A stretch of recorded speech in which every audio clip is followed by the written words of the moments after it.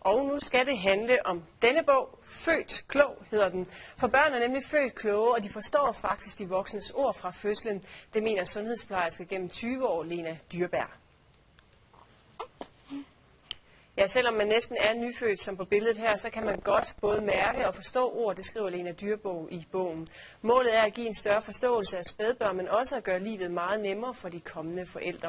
Og så kan jeg sige velkommen til dig, Lena Dyrberg. Det er jo dig, der har skrevet den her bog. Du må lige begynde med at fortælle, hvad mener du, når du siger, at børn de er født kloge?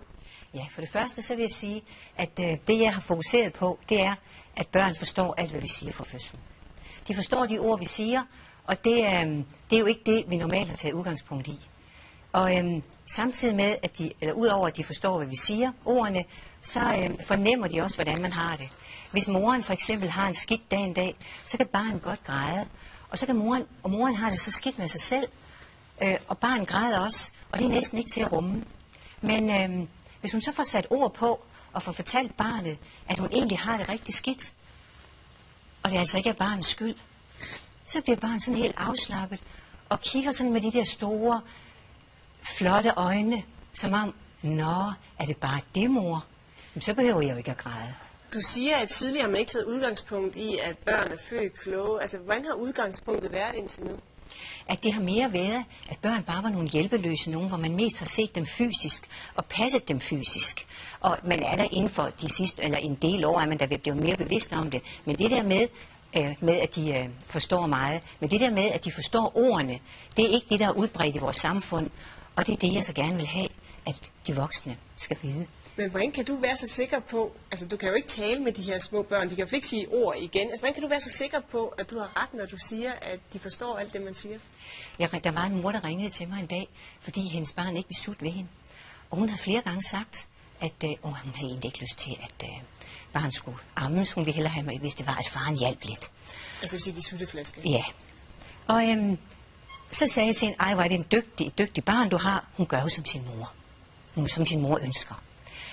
Øh, nej, sagde hun til moren, det er jo ikke det, jeg ønsker. Så sagde hun, så synes jeg, du skal fortælle din barn, hvad det er, du ønsker. For nu har du fortalt hende, jeg har i hvert fald hørt, du har sagt det højt, mens at din lille datter har været ved siden af, at du ikke synes, at du vil have lyst til at amme mere. Så øhm, det har hun gjort. Men nu, hvis du går ind og snakker med hende, så kan du bede hende om at slutte ved dig, og så se, hvordan det så går. Øh, to timer efter, der mødte jeg moren, og hun var gået ind og havde vækket barnet, og hun havde bedt barnet om at sutte, og hun havde så sagt de ting, som hun nu har lyst til med hendes følelser og hendes ord, men i hvert fald sagt, at hun ønskede, at de fortsat skulle have det samarbejde med amningen, og barnet, hun havde lagt barnet til, og barnet suttede. To måneder efter, da jeg mødte hende, besøgte hende hjemme ved hende selv, der suttede barnet stadigvæk, og der var ikke flere problemer. Men hvordan er det børnene, altså de her helt bitte små spædbørn, de kommunikerer, mener du? De gør, de gør det, vi siger. Og øhm, hvis det er, at vi sætter ord på noget, at vi er kede af det, så ændrer de adfærd. Så sådan ligesom de kigger, nå, nå, er det bare det? Nå, jamen, øh, og så bliver de... Øh, så bliver det mere afslappet og slapper mere af i vores arme, hvis det ligesom får en afklaring på, hvad er det, der er dårlig stemning? Hvad er det, der gør, at du er ked af det, mor? Hvad er det, der gør, at I måske ikke har det så godt sammen, far og mor? Øh, snak sammen med nogen om det. Og så når de har gjort det, og man så ser på barnet, så ser barnet afslappet ud, og har et helt andet kropssprog, afslappet og tilfreds. Men, men deres kommunikation, er det kun ved grådet, de viser det, eller kan det være fysisk, eller kan det være med grin? Altså, hvad, hvad kan det være? Hvordan kan man som forældre se, at ens barn prøver at fortælle en noget? Det kan man også fysisk. Jeg havde et barn, der ikke ville støtte på benene, og da vi så fik en snak, eller hun trak benene op under sig, øhm, hver gang vi øhm, holdt hende, hun ville simpelthen ikke støtte på underlaget. Og så fik vi en snak om, øhm, jeg fik en snak med hende, og hvor vi egentlig fandt frem til årsagen til, at hun ikke ville støtte på de ben. Og det gjorde jeg selvfølgelig i samarbejde med moren, og det var nogle ting i dagligdagen, der ikke var som pigen hun ønskede. Og hun blev lagt hen og sove to timer efter, da de tog hende op af sengen, satte de hende på gulvet, og hun kunne stå ved støtte.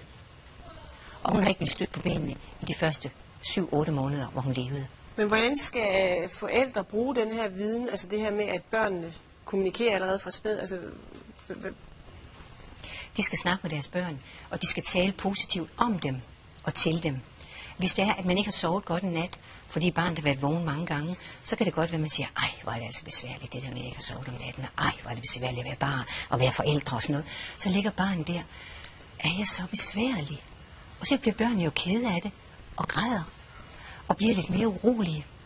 Og øhm, så, så tænker man ikke over, gud, det er nok fordi, de har hørt, hvad jeg har sagt. Men øhm, der har jeg også nogle eksempler på en mor, der også fik et uroligt barn og var ked af det, fordi hun havde sagt nogle dumme ting, fordi at hun havde, selv havde haft det skidt de første to måneder. Men øh, da hun så fik snakket med barnet om, at hun egentlig øh, havde haft det skidt de første to måneder, og det ikke var barnets skyld. Det er så vigtigt at sige, at det er ikke din skyld. Så hvis, man, hvis barnet har holdt en vågen hele natten, hvad skal man så sige om morgenen? Så kan man sige, åh, hvor er det, træ, hvor er det træls, vi har sovet så dårligt. Jeg håber, vi sover lidt bedre i morgen, i morgen nat. Øh, du, har, du har det dårligt, men sådan som du har sovet, kan jeg se, at du ser træt ud. Og farmor vil så gerne have, at du sover godt om natten. Det er ikke sikkert, at barnet vil gøre det lige med det samme, men hvis man siger det gang på gang, hvad det er, man ønsker, og hvad det er, man gerne vil bare have, at barnet skal gøre, så vil barnet gøre alt, hvad de kan for at tilfredsstille deres forældre. Lena Dyrberg, du skal tak, fordi du i hvert fald nu har gjort os klogere på de kloge børn.